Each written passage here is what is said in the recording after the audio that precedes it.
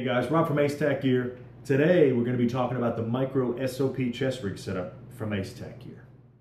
So talking about the micro SOP chest rig, you'll notice immediately that it has three AR-15 style magazine inserts on the top here, but you can always remove those inserts and use a different style magazine of your choice. Moving forward from the mag inserts for the rifle, you have these pistol style magazine inserts on the side of the main harness or the main chest rig area.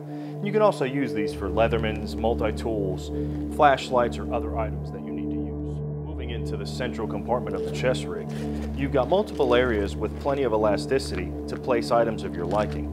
And in the event you want to have a holster or something different on this side, you can go ahead and remove it and access the Velcro to change the entire dynamic of your interior compartment.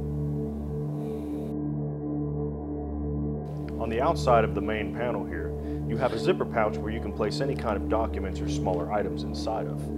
In addition to that, you have a Velcro surface area with laser cut MOLLE webbing in the event that you want to place different placards, identification patches, or possibly run certain types of knives or other accessories on the front of your panel. The lower subabdominal pouch that comes standard on the Micro SOP chest rig from Tac has an outside admin pouch as well, so that you can place whatever small items, accessories on the interior panel.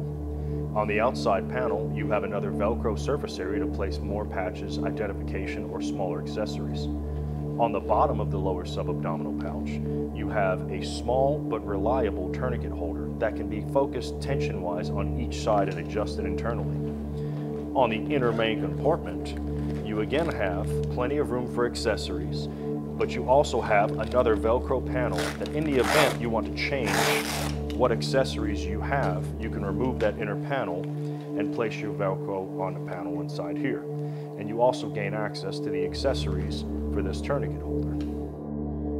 Moving along, the expander wing panels on the side of the Tac SOP chest rig can hold various accessories from AR-15 magazines to water bottles and filtration to communications and radio. On the back side of the Tac SOP chest rig, it comes standard with this padded cover.